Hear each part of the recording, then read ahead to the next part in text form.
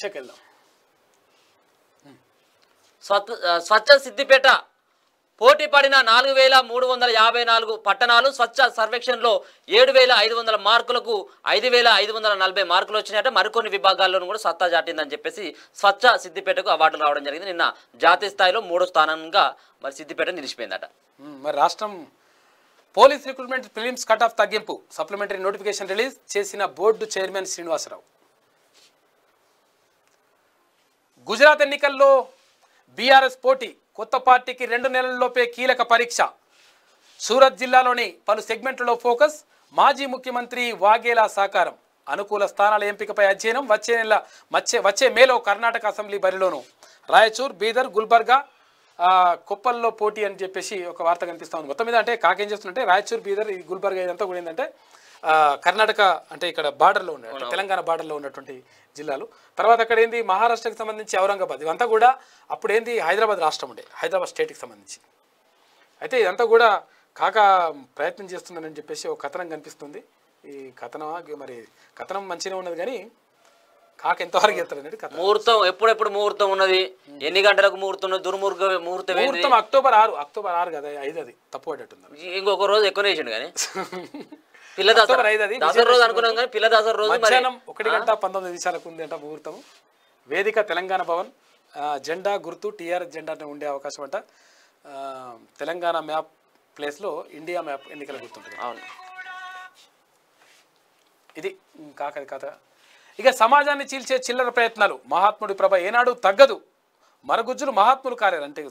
మరుగుజ్జులు వాళ్ళని అవమానించడగా పాపం వాళ్ళు అవును. అరే చిన్నగా ఉండడం వాళ్ళ తప్ప అదేమన్నా ఆయన స్ఫూర్తితోనే రాష్ట్రం సాధించాం.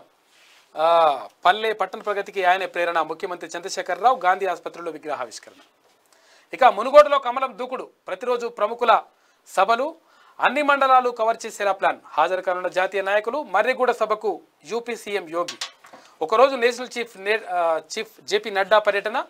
భోగసోట్లపై పన్నా ప్రముఖుల ఆరా. షెడ్యూల్కు ముందే ఈసీకి పంపే యోచనలో ఉన్నారంట. అక్కడ మొత్తం మీద ఎక్కడ ఎలక్షన్స్ ఉంటే అక్కడ దొంగ ఓట్లు క్రియేట్ చేస్తుంటుంది గులాబీ పార్టీ. గులబామ చీరలకు యునెస్కో గుర్తింపు. నేతన్న అరవై ఏళ్ళ కృషి నైపుణ్యానికి లభించిన గౌరవం మంత్రి హరీష్ రావు అభినందన అంటే గులబామ చీరకు యునెస్కో నేనే మళ్ళీ కాకనే. ఇక.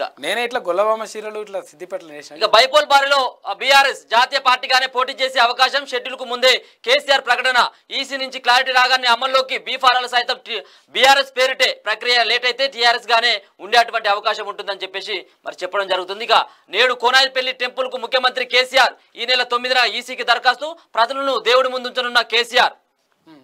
సీఎం కు సెంటిమెంట్ ఆలయం అట ఇక్కడ ఉన్నటువంటి కోనాయిపల్లి. కోనాయపల్లి టెంపుల్ మాత్రం. ఇక బీఆర్ఎస్ వైపే మొగ్గు. ఐదున టీఆర్ఎస్ విస్తృత స్థాయి సమావేశం. ఇతర రాష్ట్రాల నుంచి సౌ సౌహార్ద్ర ప్రతినిధులు. రెండు వందల ఎనభై మూడు మందితో ఏకగ్రీవ తీర్మానం ఆమోదం. అదే రోజు రైతు కార్మిక నేతలతో సీఎం లంచ్. ఆ తర్వాత ఎన్నికల కమిషన్కు దరఖాస్తు. డిసెంబర్ తొమ్మిదిన ఢిల్లీలో భారీ బహిరంగ సభ. ఈలోగా తెలంగాణలోనూ పబ్లిక్ మీటింగ్. ఇక బైపోల్ బరిలో బీఆర్ఎస్ జాతీయ పార్టీగానే పోటీ చేసే అవకాశం షెడ్యూల్ ముందే కేసీఆర్ ప్రకటన అంటూ ఒక వార్త చూసుకోవచ్చు. ఇక గొల్లబామ చీరలు ఇట్లున్నాయి. నిఘా నీడలో దవాఖానలు. డాక్టర్ల కదలికలపై కన్ను. అన్ని ఆసుపత్రుల్లో సీసీటీవీలు. ఇప్పటికే పిఎస్సిలో ఏర్పాటు. ఇకపై మెడికల్ కాలేజీల్లోనూ కొత్తగా ముప్పై ఒక్క హాస్పిటల్లో ఐదు వందల నలభై కెమెరాలు ఏర్పాటు చేస్తూ ఉన్నట్టు కెమెరా గిరాకీ మంచిగా ఇక wind man of India. Tulsi Shanti ఇక లేరు. సుజ్లాన్ ఎనర్జీ వ్యవస్థాపకుడు విద్యుత్ ఉత్పత్తి రంగంలో అవకాశాల సృష్టికర్తగా పేరు గుండెపోటుతో కన్నుమూత ప్రధాని మోడీ సహా పలువురు సంతాపం తెలియజేయడం రాజధాని చనిపోవడం జరిగింది ములాయం సింగ్ ఆరోగ్య పరిస్థితి విషమం. శ్వాస సమస్యతో ఐసీయూలో చికిత్స సీనియర్ వైద్యుల పర్యవేక్షణలో ట్రీట్మెంట్. గురుగ్రామ్ మేదాంత ఆసుపత్రిలో వర్గ ఆసుపత్రి వర్గాల వెల్లడి అంటూ ఒక చూసుకోవచ్చు. మొత్తం మీద సమాజ్వాదీ పార్టీ అగ్రనేత ములాయం సింగ్ యాదవ్ ఆరోగ్య పరిస్థితి విషమంగా ఉందంట. పాపం ఇక హైదరాబాద్లో ఉగ్రకుట్ర భగ్నం ముగ్గురు నిందితుల అరెస్టు పోలీసుల అదుపులో మరో ఏడుగురు పాక్ ఐఎస్ఐ తో సంబంధాలు నిందితుల నుంచి నాలుగు గ్రానైట్లు స్వాధీనం ఐదు లక్షల రూపాయలు నగదును కూడా స్వాధీనం చేసుకోవడం జరిగిందంటే ఈ దుర్మార్గుల నుంచి ఇక ఇండోనేషియాలో విషాదం. ఫుట్బాల్ స్టేడియంలో తొక్కిసలాట నూట ఇరవై ఐదు మంది దుర్మరణం. పదకొండు మంది పరిస్థితి విషమం. తూర్పు జావా ప్రావిన్స్లోని క్రీడా మైదానంలో ఘటన. ఇది ఇది ఆ, దిశ. దిశలో ఉన్నటువంటి ప్రధాన కథనాలు అయితే